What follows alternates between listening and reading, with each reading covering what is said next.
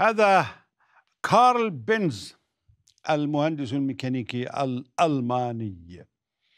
وهذه سيارته كانت في أواخر القرن التاسع عشر شيئا بسيطا. ودخل غوتليب دايملر على الخط وطور السيارة. نحن نقرأ على ما ينشرونه من دعايات كلمة دايملر بنز ولكن الكلمة الأشهر ليست هذه ولا تلك. بل هي مرسيدس ومعناها باللاتينية الرحمات. وها هي الآنسة مرسيدس. إنها ابنة أحد الذين طوروا السيارة المشهورة التي تصنع في شتوتغارت بألمانيا. على اسم ابنته سمى نموذجه وكان الناس أحبوا كلمة مرسيدس أكثر من دايملر وأكثر من بنز وهذا شعار السيارة. النجوم التي نعرفها خماسية سداسية سباعية فما فوق فأما عائلة دايملر فكان شعارها نجما ذهبيا تحول في السيارة إلى نجم فضي وثلاثي. إذا فشعار مرسيدس ليس مثلثا انقلبت أحواله وفقد مساحته فصار سهاما بل هو نجم. وأغلى من هذه السيارة سيارة الرولز رويس البريطانية.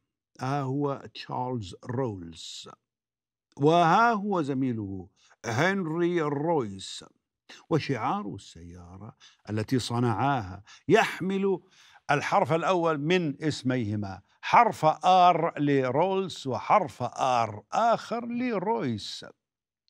اسم غريب. ومات رولز فاسود حرف من الحرفين وبقي الآخر أحمر. وبعده بثلاث وعشرين سنة مات رويس فاسود الحرفان. ومثل المرسيدس فإن الرولز رويس تغيرت كثيرا ولكنها مثل المرسيدس أيضا حافظت على مقدمتها الخنزيرية. وإلى سيارة إيطالية مقدمتها مدببة الفراري. وهذا هو إنزو فيراري لم يكن مهندسا بل كان سائقا ومسابقا. فاز بسباقات سيارات عديدة وعقد صفقة مع شركة وأنتج سيارة فيراري السريعة. مات فيراري عن تسعين سنة في عام ثمانية وثمانين ولم يعلنوا عن وفاته إلا بعد انقضاء يومين وذلك عملا بوصيته. فقد كان قال إنه عندما ولد تأخر الأهل يومين في إبلاغ الجيران بولادته فلا بد من تعويض اليومين عند الوفاة. الفنون جنون. وأخيرا نعود من حيث بدأنا نعود إلى ألمانيا. فهذا هو فرديناند بورشي. هذه السيارة التي صممها نشاهد منها نسخة جديدة آية الحمراء. المقدمة مدببة أيضا هي سيارة سباق. ولكن لماذا نرى في الصورة المقبلة بورشه واقفا بجانب سيارة الفولكس فاجن لأنه هو من صممها أيضا. كان ذلك في الزمن النازي.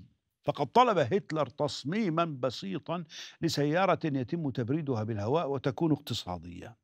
فصمم بورشه الفولكس فاجن ومعنى الاسم سيارة الشعب.